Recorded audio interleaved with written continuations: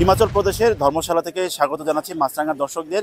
এখানে আমরা চেষ্টা করছি এখানকার সব ক্রিকেট এবং মাঠ এবং মাঠের খবর বাইরে জানাতে। কিন্তু এখানে একটা ব্যতিক্রম ঘটনা দেখলাম আজকে।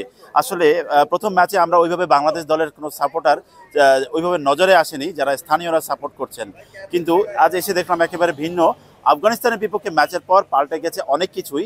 যেমনটা আমরা দেখছি এখানে প্রচুর দুটো দলের জার্সি বিক্রি হচ্ছে। একটা হচ্ছে স্বাভাবিকভাবে ভারতের আর একটা হচ্ছে বাংলাদেশের লাল সবুজ জার্সির খুব বিক্রি হচ্ছে এখানে।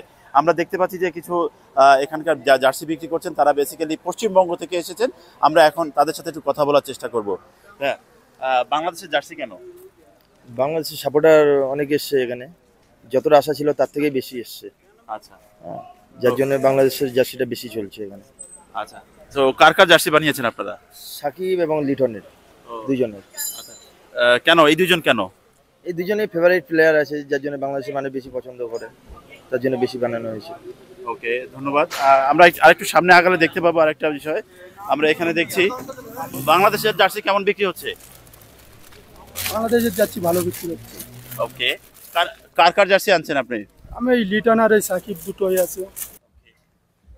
ওকে আমরা একটু আর- আরও আছে দোকান অনেকগুলো আছে এখানে। দেখি একটু আপনাদেরকে দেখানোর চেষ্টা করছি।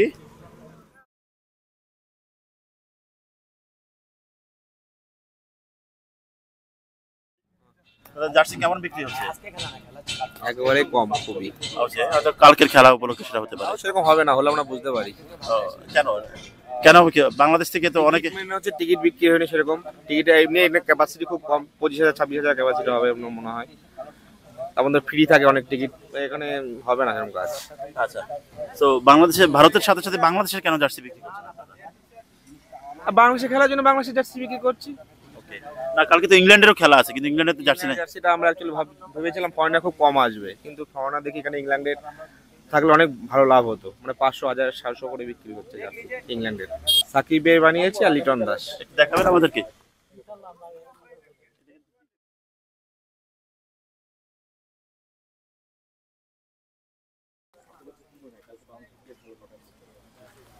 লিটন